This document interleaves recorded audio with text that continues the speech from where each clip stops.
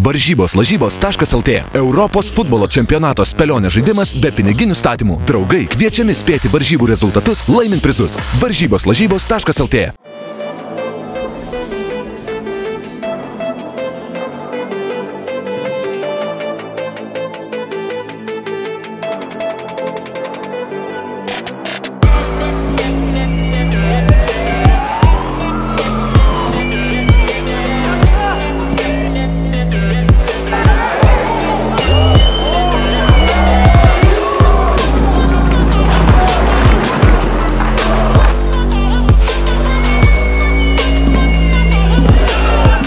Tikrai e, pagal, ne pagal rezultatą, tai kaip atrodo 3-0, tikrai pirmas kelnys buvo toks labai sunkus ir tas karštas oras reikėjo iš tikrųjų e, šiek tiek adaptuotis.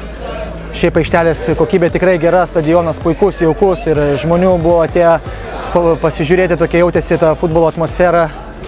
Gal tik tas oras šiek tiek karštas, bet šiaip labai džiaugiamės, kad pavyko antrą kelinį greitus pasiekti įvarčius ir šiek tiek nusiramino komanda ir jau e, buvo, beli- beliko tik tais išlaikyti koncentraciją iki rungtynių pabaigos, nepraleisti įvarčių, neduoti šanso varžovams.